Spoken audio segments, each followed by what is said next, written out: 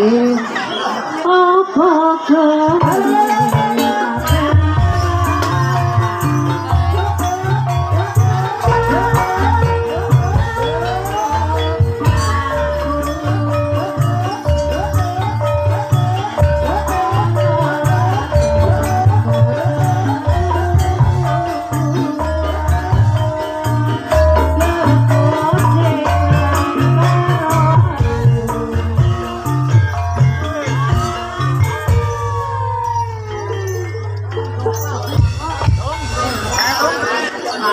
Jiwa ngawi Mas ya.